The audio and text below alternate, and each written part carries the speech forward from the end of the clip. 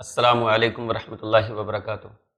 ان الحمد للہ نحمده ونستعینه ونستغفره ونؤمن به ونتوکل علیہ ونعوذ باللہ من شرور انفسنا ومن سیئات اعمالنا۔ من يهده الله فلا مضل له ومن يضلله فلا هادي له واشهد ان لا اله الا الله واشهد ان محمدا عبده ورسوله اما بعد، فاعوذ باللہ من الشیطان الرجیم۔ بسم اللہ الرحمن الرحیم۔ یا ایہا الذین آمنوا انما الخمر والمیسر والانصاب والازلام رجس من عمل الشیطان فاجتنبوه لعلکم تفلحون وقال ولا تتبعوا خطوات الشیطان انہو لکم عدو مبین۔ ناظرین، میں کمال الدین سنابلی حاضر ہوں آپ کی خدمت میں اپنا موضوع لے کر۔ پچھلی نشست میں ہم لوگ بات کر رہے تھے شیطان کے دھوکہ دہی کے طریقوں کے تعلق سے کہ شیطان کے انداز کیا کیا ہیں، شیطان کے دھوکہ دینے کے طریقے کیا کیا ہیں، کیا کیا اس کی شکلیں ہیں، کیا کیا صورتیں ہیں، کن کن انداز میں آپ کے سامنے آ سکتا ہے، کون کون سے اعمال شیطانی ہیں، کس کس انداز میں، کس کس عمل کے ذریعے وہ آپ کو بہکا سکتا ہے۔ اسی سلسلے میں ہم نے ایک آیت پڑھی تھی، یا ایہا الذین آمنو، کہ اے ایمان والوں انما الخمر والمیسر والانصاب والازلام رجس من عمل الشیطان۔ کہ بے شک شراب، جوا، بت پرستی اور فال نکالنے کے تیر، یہ گندی چیزیں ہیں، شیطانی عمل ہے۔ لہٰذا اس سے بچو، لعلکم تفلحون، تاکہ تم کامیاب ہو سکو۔ اس کے ضمن میں ہم نے شراب کے تعلق سے چند باتیں آپ کے سامنے پیش کی تھیں۔ اسی ضمن میں ہم آپ کو بتا رہے تھے کہ شراب یا کوئی بھی نشہ آور چیز، نشہ لانے والی چیز اگر زیادہ مقدار میں نشہ دیتی ہے تو اس کی کم مقدار بھی حرام ہے۔ کوئی شخص اگر یہ گمان رکھے کہ بھائی مجھے کم مقدار میں یہ چیز نقصان نہیں دیتی، میں یہ چیز نشہ والی تو ہے، لیکن جب اسے زیادہ مقدار میں استعمال کرتا ہوں تو نشہ آتا ہے، لیکن کم مقدار میں استعمال کرتا ہوں تو نشہ نہیں آتا۔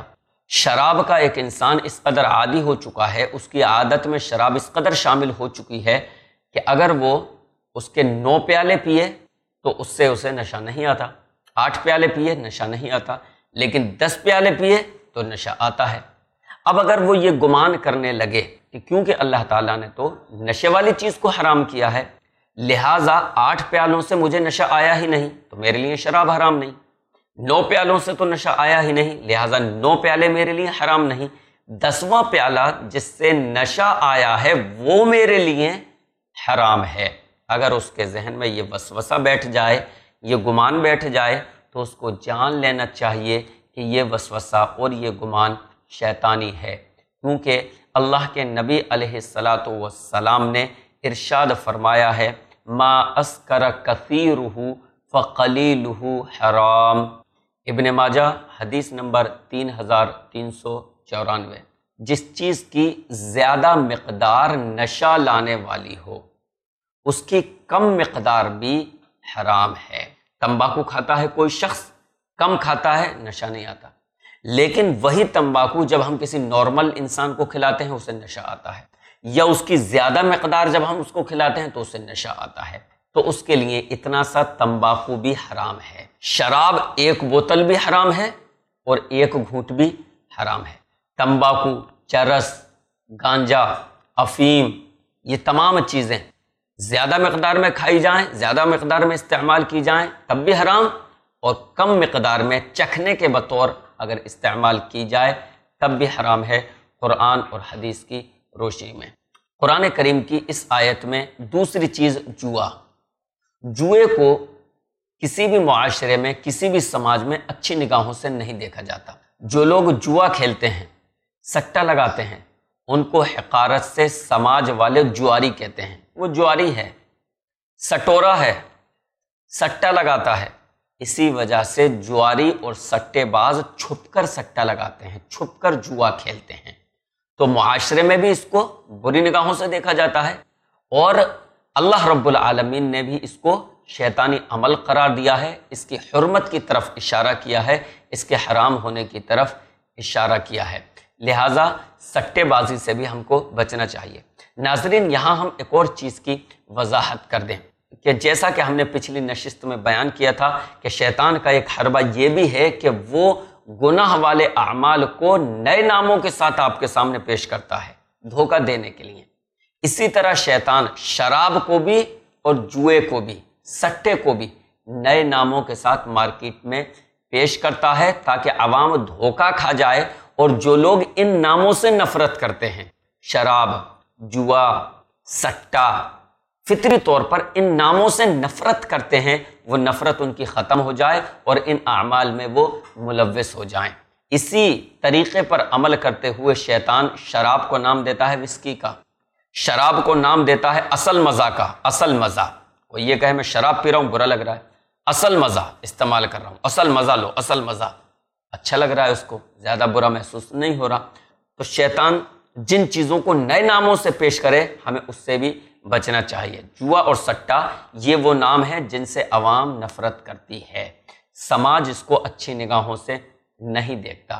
لہٰذا شیطان نے جوئے کو اور سٹے کو مختلف نئی شکلوں میں عوام کے سامنے پیش کیا ہے۔ وہ جوئے اور سٹے کو کہیں انعامی بانڈس کا نام دیتا ہے، کہیں ریس کورس کا نام دیتا ہے، کہیں بیمے کی مختلف شکلوں میں جوئے کی کیفیت اور جوئے کی شکل ڈال دیتا ہے۔ تو یاد رکھیے، جس طرح سے وہ چیز حرام ہے کہ جس کو جوا کہا جاتا ہے، جس کو سٹا کہا جاتا ہے وہی چیز، وہی علت جب دوسری ان چیزوں میں پیدا ہو جائے جن کے نئے نام ہیں، جن کے خوبصورت نام ہیں، جیسے ریس کورس، خوبصورت نام ہیں، اچھے دکھنے میں اچھے نام ہیں، نام کے تبدیل ہونے سے ان چیزوں کا حکم تبدیل نہیں ہوگا۔ کیونکہ علت ان میں وہی پائی جا رہی ہے، لہٰذا یہ چیزیں بھی حرام ہیں۔ تو نام چاہے تبدیل ہو جائے لیکن اس کا حکم نہیں بدلے گا، یہ چیزیں نام بدلنے کے بعد بھی حرام رہیں گی۔ اللہ نے ذکر کیا بت پرستی۔ دیکھیے بت پرستی یعنی غیر اللہ کی عبادت۔ یہ بھی شیطان کا محبوب مشغلہ ہے۔ اس کی شدید خواہش رہتی ہے کہ انسان بت پرستی میں پڑ جائے۔ مجسموں کی عبادت کرے، غیر اللہ کی عبادت کرے، اور اس کے لیے وہ مختلف طریقے سے انسان کو دھوکہ دیتا ہے۔ کبھی تو اس سے بت کی عبادت کرواتا ہے، پتھر کی عبادت کرواتا ہے ڈائریکٹ کہ اس کی عبادت کرو۔ اور کبھی وہ ڈائریکٹ پتھر کی عبادت نہیں کرواتا، بلکہ کسی انسان کا نام لیتا ہے۔ یہ انسان ایسا ہے کہ اس کی عزت ہماری نگاہوں میں ہونے چاہیے۔ اس کا احترام ہماری نگاہوں میں ہونا چاہیے۔ اس سے ہمیں عقیدت کرنی چاہیے۔ اس سے ہمیں محبت کرنی چاہیے۔ اس کا بڑا مقام ہے، بڑا مرتبہ ہے۔ لہٰذا اس کے اس راستے سے وہ آتا ہے اور پھر وہ اس کی عبادت انسان سے کرواتا ہے۔ شیطان بڑا چالاک ہے۔ اگر وہ ایک مسلمان سے کہے گا کہ پتھر کی عبادت کرو، بت کی عبادت کرو، مسلمان نہیں مانے گا۔ لہٰذا وہ مسلمان کے سامنے دوسرے راستے سے آتا ہے۔ مسلمان کی نگاہوں میں جن اولیاء کا احترام ہے، جن اولیاء کو مسلمان اچھی نگاہوں سے دیکھتے ہیں، احترام کی نگاہوں سے دیکھتے ہیں ان کی عظمت کے قائل ہیں، اسلام میں ان کی خدمات کے قائل ہیں، ان کے درجات کے قائل ہیں۔ شیطان ان شخصیات کا استعمال کرتا ہے۔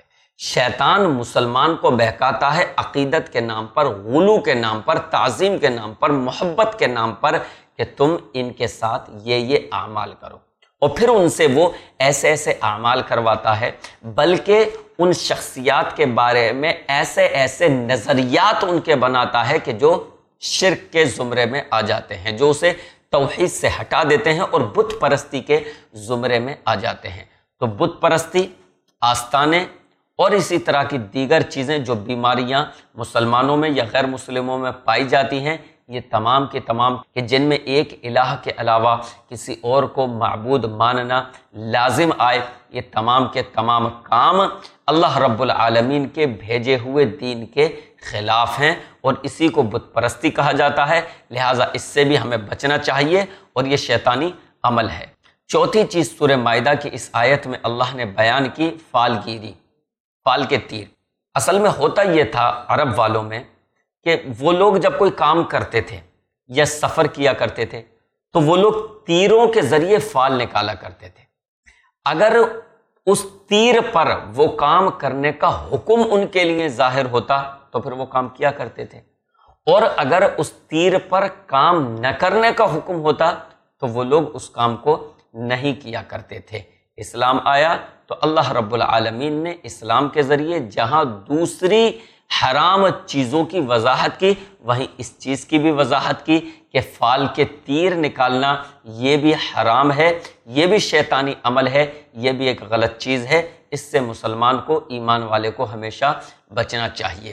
ناظرین، یہیں ہم یہ بھی وضاحت کر دیں کہ فال نکالنے کی ایک شکل تو تیر نکالنے کی ہے، کچھ دوسری شکلیں بھی ہیں، جیسے پرندے کو اڑانا۔ پرندہ اگر دائیں طرف کو اڑا تو یہ کام مجھے کرنا ہے۔ بائیں طرف کو اڑ کر چلا گیا تو یہ کام مجھے نہیں کرنا۔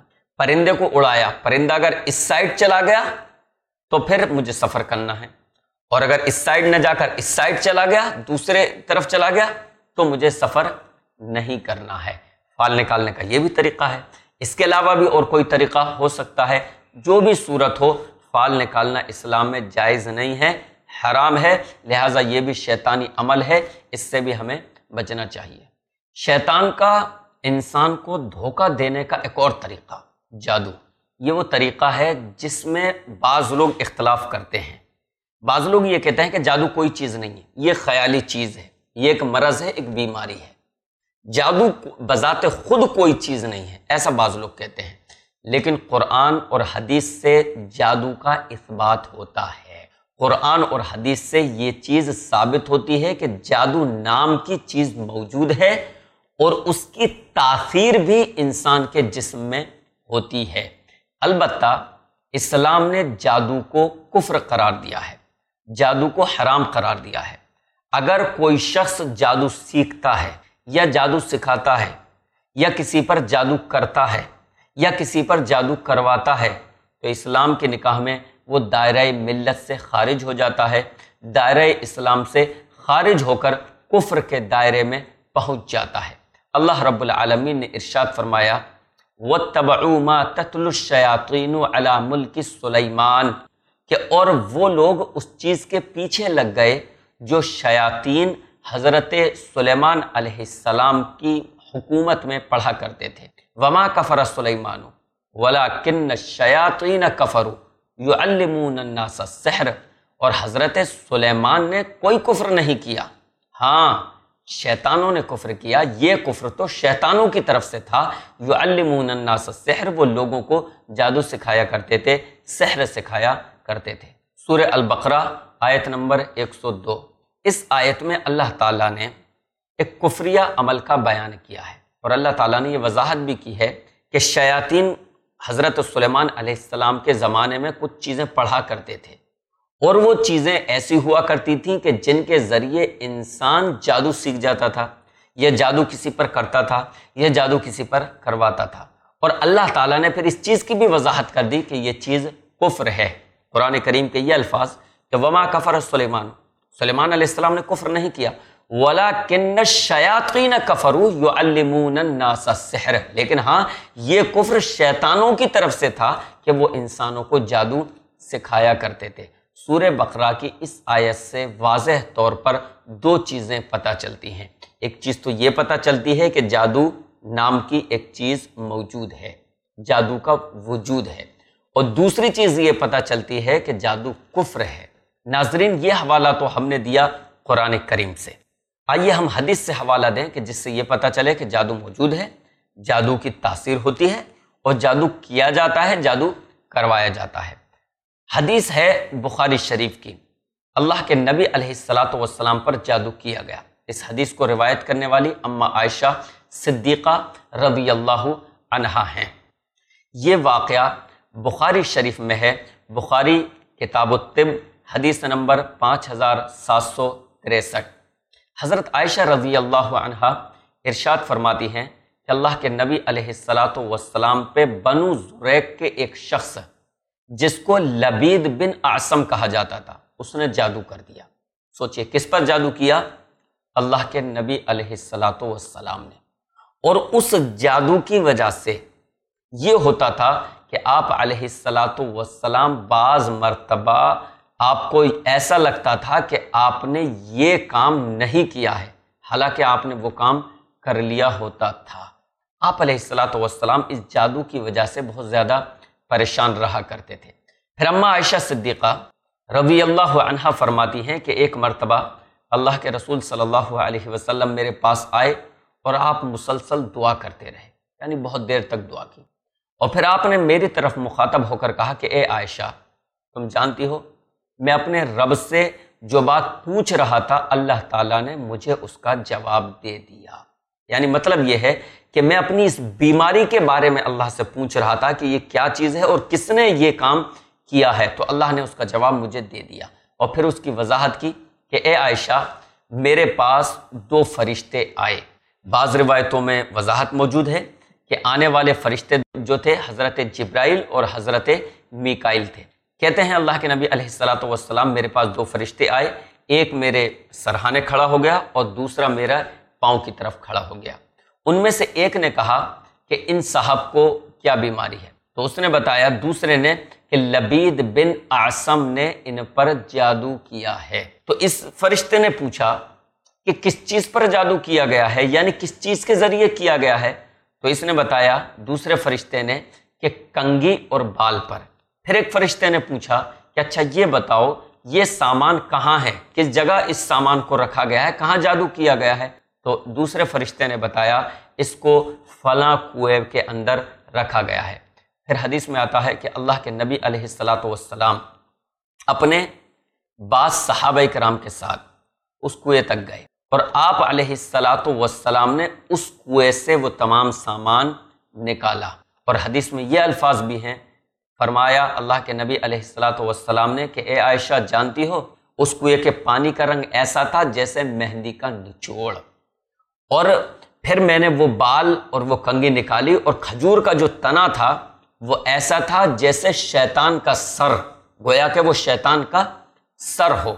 اما عائشہ صدیقہ رضی اللہ عنہ نے کہا کہ اللہ کے رسول صلی اللہ علیہ وسلم، آپ نے اس جادو کو باہر کیوں نہیں نکالا؟ یعنی آپ نے ایسا کیوں نہیں فرمایا کہ آپ وہ سامان کنگی اور بال لے کر آتے اور سب کو دکھاتے؟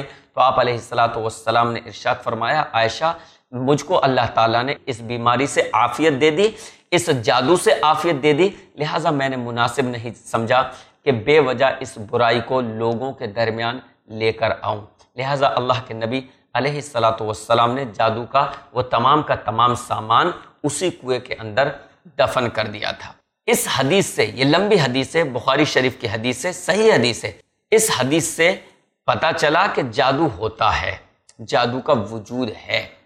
اور جادو کے اندر تاثیر بھی ہے اور وہ تاثیر انسان کو لگتی بھی ہے۔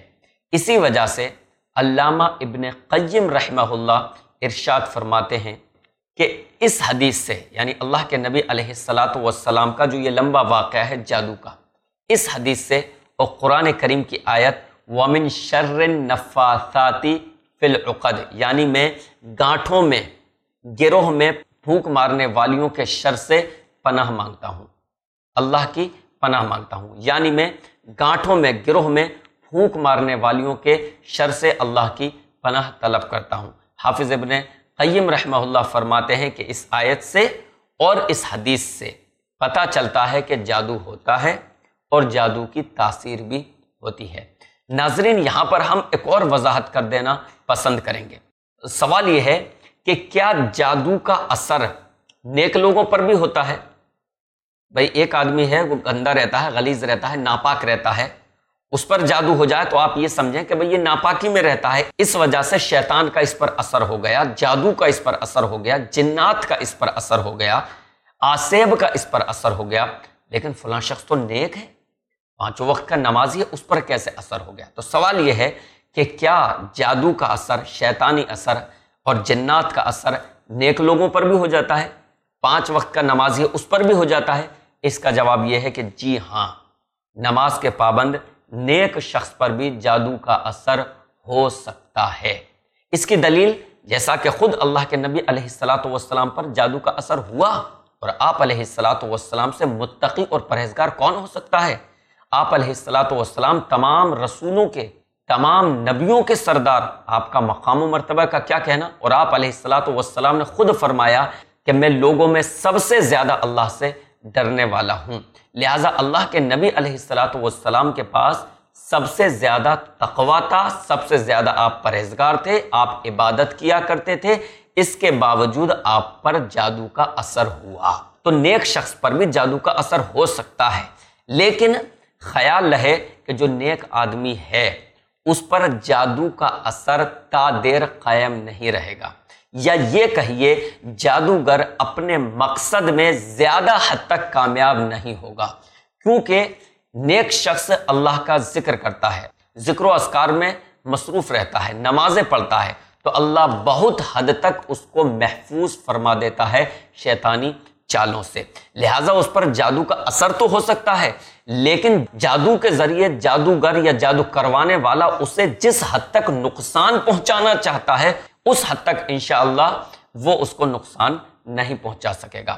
ناظرین، ابھی یہ موضوع ہمارا باقی ہے۔ انشاءاللہ ہم اپنا یہ سفر طے کریں گے۔ اگلے ایپیسوڈ میں اللہ رب العالمین سے دعا ہے کہ رب العالمین ہم تمام مسلمانوں کی تمام انسانوں کی جادو سے حفاظت فرمائے، شیطانی عمل سے حفاظت فرمائے۔ آمین یا رب العالمین۔ و صلی اللہ تعالیٰ علی رسول خیر خلقہ محمد و علیہ و اصحابہ اجمعین برحمتک یا ارحم الراحمین۔